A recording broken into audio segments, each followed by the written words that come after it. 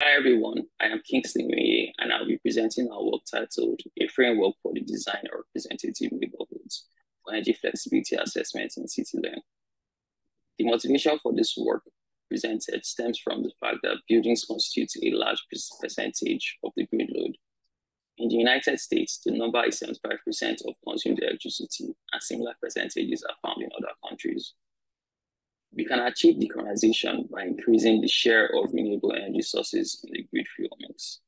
Another pathway towards decarbonization is the adoption of energy efficient appliances and envelope retrofitting. Additionally, the electrification of fossil fueled end uses can help achieve decarbonization goals. However, while electrification might reduce emissions on the building side, it would also mean increased emissions and load on the supply side if the power generated from renewables is not able to meet up with the increased electricity demand. More importantly, renewable power generation has a temporal dimension in the sense that it is not always available and is affected by weather conditions as shown by the duck curve. Therefore, we need a smart approach to manage and control building loads to ensure that electrification and renewable penetration do not bring about grid insecurity. The Department of Energy introduced the Grid Interactive Efficient Building Initiative to promote the integration of distributed energy resources in buildings that can provide grid flexibility. Improving the energy efficiency of buildings provides reduced load without making changes to the building function. PV adoption provides self-generation capabilities which offsets the net load that will otherwise be satisfied by the grid alone. To then solve the curve problem, load shedding and shifting are needed. Load shedding and shifting can be achieved through smart control of storage systems. Hence, our work proposes controlled electricity and thermal storage using model-free deep reinforcement learning as a pathway towards achieving load shedding and shifting. In reinforcement learning, an agent learns to perform a task by acting in an environment, given some observed states. He then receives a reward that quantifies the quality of the action that was taken. By exploring the environment, the agent learns an optimal set and sequence of state action pairs that maximizes its cumulative reward. However, a major challenge for the adoption of reinforcement learning in buildings is the ability to benchmark control algorithms to accelerate their deployment on live systems. CityLearn provides a platform for benchmarking RLC algorithms for such control applications.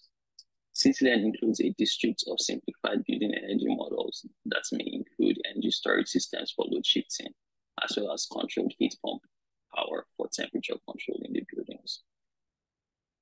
On the other hand, as small D are, and are integrated into the demand side infrastructure, quantifying flexibility capabilities of existing building stock, as well as identifying best control strategies to accelerate the design and adoption of demand response programs are crucial. Particularly, understanding the impacts of geographic, climatic, and occupant behavioral differences on DER effectiveness can inform building design choices and guide policymakers. However, to carry out such an analysis at the urban scale, an inventory of building stock energy models is required. The end use load profiles for the US building stock database uses the ResStock and ComStock engines, as well as public and private utility and metering data to generate physics-based simulation models and provides 900,000 synthetic buildings representative of the residential and commercial building stock in the United States. With this comprehensive data set, residential, commercial, and mixed-use neighborhoods can be created to study the impact of DERs and demand response programs.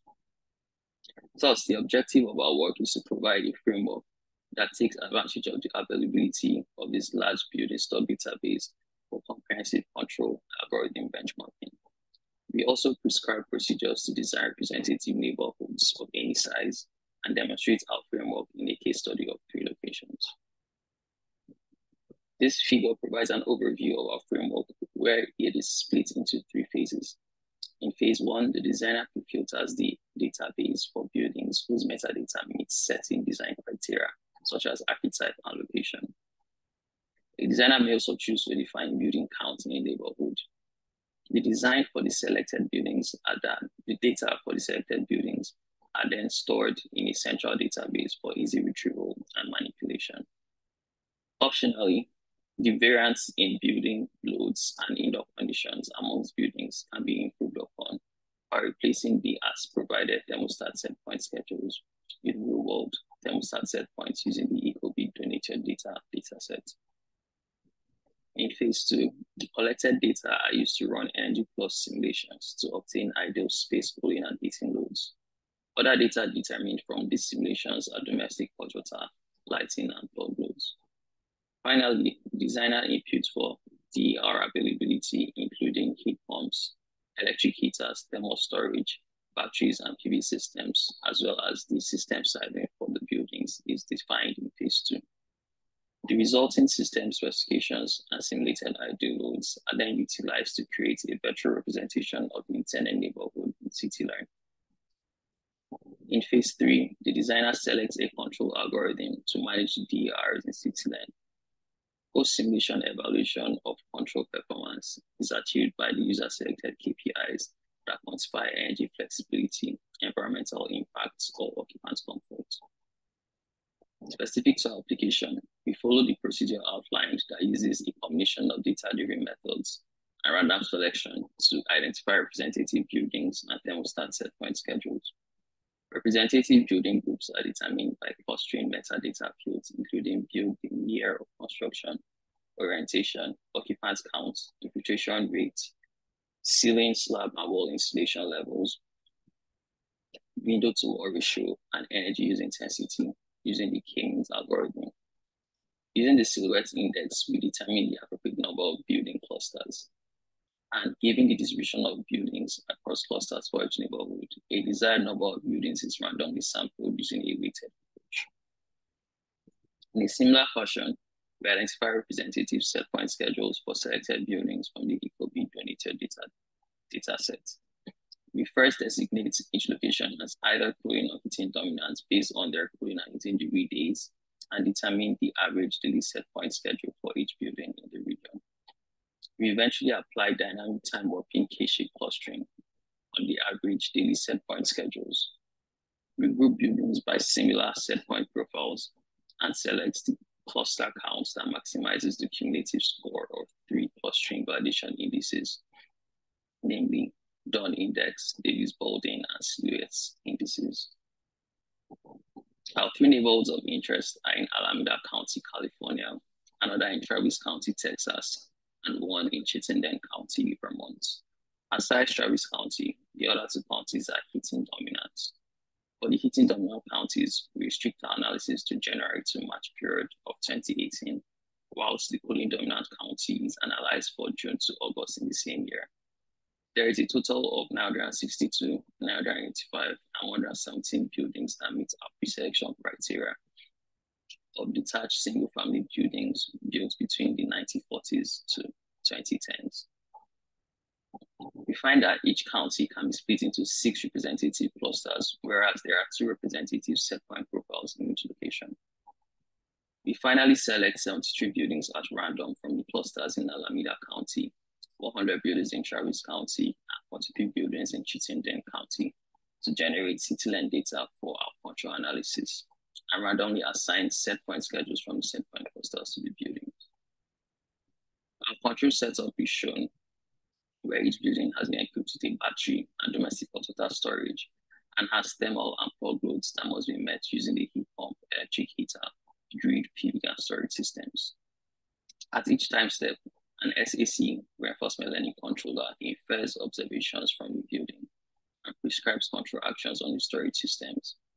The building end-use loads are first met before applying these actions to ensure that comfort is not compromised. The agent receives a reward signal that qualifies the actions it prescribes. We use a reward function that penalizes net export to the grid when the storage systems are not fully charged and penalizes net imports when there is still charge left in the storage systems. That's way the controller learns to make ample use of its self-generated electricity. Our results show that all buildings in California and Texas are able to reduce their electricity consumption from the grid compared to the baseline. on average, buildings in California and Texas neighborhoods are able to reduce energy drawn from the grid by 19% and 30% respectively, whereas only 14 of 43 buildings in Vermont perform better than the baseline. At the neighborhood level, ramping is most improved on average in the three neighborhoods.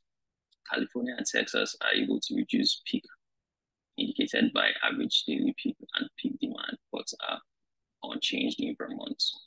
Load factor is reduced by 2% and 12% in Vermont and Texas, but increases by 3% in California.